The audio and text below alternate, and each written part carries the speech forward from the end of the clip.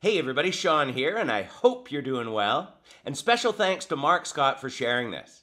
If you're not familiar with Justin Paul Abraham, this is his Facebook page. And one of his teachings is on supernatural transportation. Now, while we do have the one example of Philip being supernaturally transported by the Spirit of the Lord in Acts 8, this doesn't mean that we can teach people how to do that. If we could, then God would have told us how in the Bible. And we see he's got special guest Michael Van Vlymen for this topic. Remember him? The guy that personally met the Apostle Philip and also teaches how to spirit travel. We can see that he's a future gazer and a bliss theologian, whatever that means, and teaches how to experience angelic beings, always about the experience with this crowd. He also has other strange teachings like guardian angel guided meditation. His main site is called Company of Burning Hearts. And if we click on the About Us tab, we read that he's the founder and co director of COBH Limited in the UK. He's a futurist, transformational coach, popular speaker, and author known for his joy filled, expanding teachings on Kainos New Creation realities, meditation, and union prayer. Absolutely nothing about Jesus or Christianity mentioned. But that's because this page says that he's a false prophet and just another New Age mystic that claims to be Christian.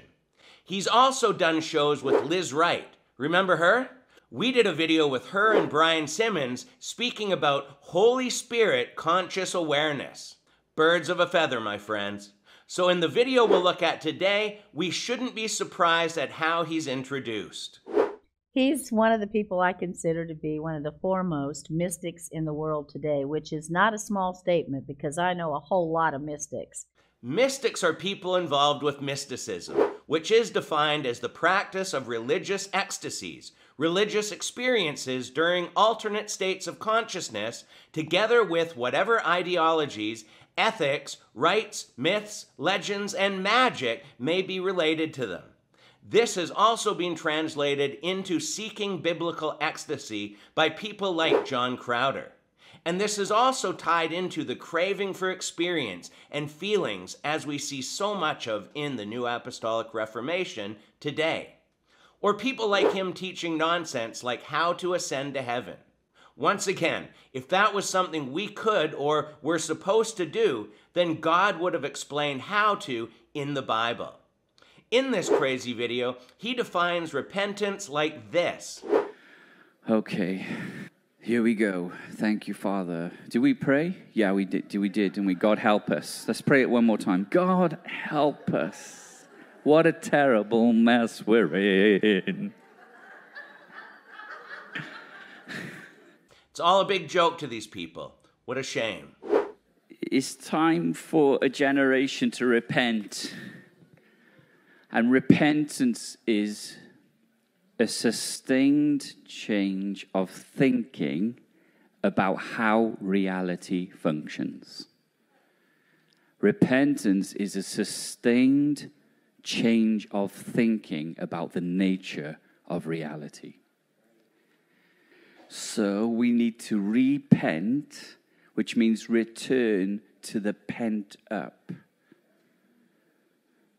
The gimbal is the pent up. It's the, it's the burst in supply of heaven. So repentance means return to the burst in supply. Pent up. So we need to go back, return. It's interesting that it's got the word re, which means it's where we came from. Because you can only return to somewhere you've come from. So repentance means to return to your authentic origin. What a bunch of malarkey. This is as whack as Bill Johnson talking about returning to the penthouse. Biblical repentance has nothing to do with returning to your authentic origin or returning to anything. The Greek word is metanoia and means a change of mind. That is, about sin and the things of this world versus God's way but these mystics get all spacey with their meanings. So let's take a listen to a bit more from this guy. I'm like one of these people that I never thought I'd be doing what I'm doing now at all. but I got wrecked by the ecstasy of the gospel, the ecstasy of the cross, the Trinitarian dance. The Trinitarian dance? Well, that's a new one. And the first time I ever had this power encounter with God, His presence came in the room, and I actually, I actually passed out. It was so strong. I didn't know that could happen, that you could actually fall asleep because God's presence comes so strong. Mhm. So I didn't tell anyone for a whole year that this happened. I later read, you know, Adam fell asleep, Daniel, John fell asleep. Adam fell asleep because God put him to sleep when he took one of Adam's ribs to make Eve. Daniel fell asleep because he was a chosen prophet of God and God was revealing the future to him. And John fell asleep when Jesus was praying in the Garden of Gethsemane. And that was because he was tired, not for the reasons Justin just said. Sometimes when you go into a deep r- realm of beauty and wonder, your body can't handle it. Mhm. And I woke up and I hear this incredible sound, roaring sound, a real sound, not imaginary. It frightened me. It was like sparks flying, banging, clanging, wheels turning. And I was thinking, what's going on? And then the Lord's voice was there. And he said, You're going to find me. Always with the overdramatic experience and hearing God's audible voice with this crowd. You're going to find me. And what I found was that he was everywhere. I at first thought that meant I was going to have encounter after encounter. What I discovered was something bigger, bigger than encounters that we're all in.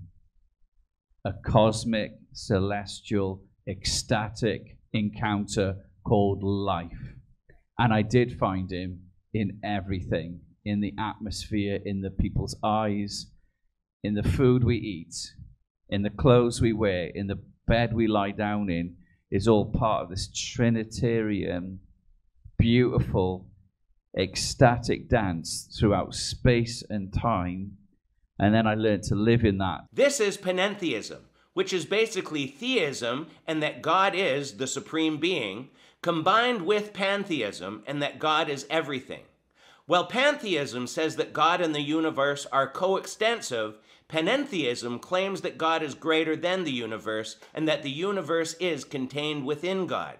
God is everything in the universe, but also greater than the universe.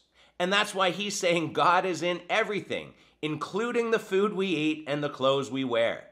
Think about that the next time you eat a pizza. But this is not biblical at all. The Bible presents God as holy, sovereign, omnipresent, omniscient, omnipotent, self existent, eternal, immutable, perfect, and infinite. None of these attributes are compatible with panentheism. God transcends all of his creation and is in no way limited or changed by events in his creation. But this space age teaching is being mixed into Christianity more and more in these last days. Read your Bibles, my friends, and know God's truth for yourself.